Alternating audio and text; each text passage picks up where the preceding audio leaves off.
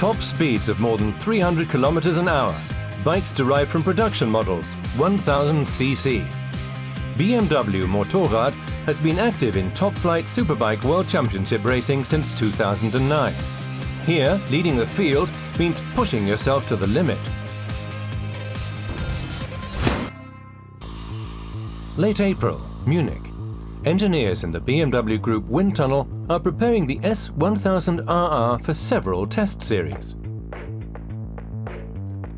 They can measure aerodynamics at simulated speeds of up to 240 kilometers an hour. We want to take the opportunity to mm, work a bit on our aerodynamic package and as well to give the, the opportunity to Chaz to work on his riding position because this can help him to be more aerodynamic efficient. Chaz Davies is new in the team. At 1 meter 83, he's unusually tall for a rider, which makes perfect positioning all the more important. For the 26-year-old Welshman, wind tunnel testing is all very new. Normally every time I've got the suit and helmet on, I'm at a racetrack, so it's nice to be in a different environment. In the tests, it's all about optimizing Chaz Davies's riding position. With simulated speeds of up to 240 kilometers per hour, he tries out which position creates the least drag. In one test, he tucks his elbows in tight to the machine.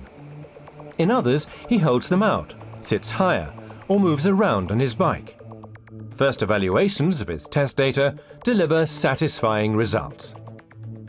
That's fun. It's really different. Um, you know, normally when we go testing, we talk about trying different parts and uh, different engine spec, different everything. You know, but not uh, actually aerodynamic. So it's nice to come here in a controlled environment in a wind tunnel for the first time for me, and uh, yeah, it's quite interesting. I'm satisfied, first of all, because uh, we understood from the measurement that anyway Chaz has already a good uh, riding position, but as well we understood that it takes time to achieve that position. So we will work in order to, let's say, to give him uh, more comfort and uh, he should be able to achieve that position quicker as soon as pick up the bike out of the corner. The perfect body position means Chaz Davies can go two or three kilometers an hour faster. Any optimization through aerodynamic testing, no matter how small, will take BMW one step closer ahead.